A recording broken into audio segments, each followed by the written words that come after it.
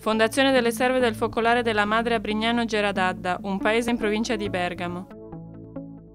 Il sabato 22 ottobre, giorno in cui la Chiesa celebrava per la prima volta la memoria del Beato Giovanni Paolo II, abbiamo voluto dare inizio a questa nuova comunità affidandola alla sua protezione. Padre Rafael, fondatore del Focolare della Madre, celebrò la prima messa nella cappella delle suore. Nell'omelia egli disse che dobbiamo sempre essere uniti alla volontà del Signore per dargli continua gloria e spiegò che il cuore delle nostre case deve essere il Santissimo, a cui dobbiamo rivolgerci continuamente. Spiegò che dobbiamo abituarci al fatto che egli stia lì, ma in ogni momento dobbiamo aprire la porta della cappella per visitarlo, chiedergli aiuto e ringraziarlo. Che gioia poter alla fine vivere in questa casa con lui. Quella stessa notte ebbe luogo una veglia di adorazione nella parrocchia per pregare per la nuova fondazione. Il giorno successivo fu celebrata ufficialmente la fondazione in parrocchia. Ci riunimmo tutti nella chiesa di Sant'Andrea di Brignano.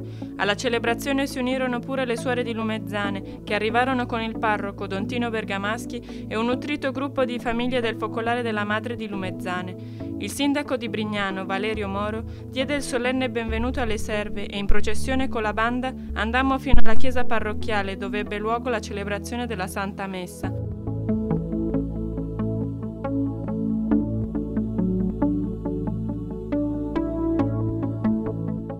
Fino all'anno scorso le suore della Carità di Maria Bambina si erano incaricate del lavoro pastorale in questo paese di Brignano.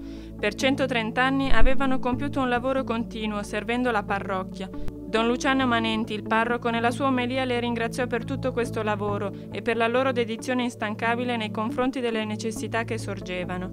Ringraziò anche Padre Raffaele, serve il Signore e la Vergine per la nostra presenza lì per continuare questo lavoro apostolico delle suore nel paese. Dopo la comunione, padre Raffaele rivolse pure alcune parole di ringraziamento per l'accoglienza e pregò per i frutti di questa nuova comunità per la gloria di Dio. Alla fine della celebrazione eucaristica, Suor Maria Rita, che era stata la superiore della comunità di Brignano delle Suore della Carità di Maria Bambina, consegnò ufficialmente le chiavi del convento a Suor Isabel Cuesta, superiore della comunità di Serve del Focolare di Brignano, Suor Maria Rita ringraziò le serve per aver accolto la richiesta del parroco di fondare lì e Suor Isabel a sua volta la ringraziò per l'immenso lavoro che avevano fatto nel paese per più di un secolo. Affidiamo al Beato Giovanni Paolo II questa nuova fondazione delle serve che desideriamo sia, come ha detto Padre Raffaele, per la gloria di Dio.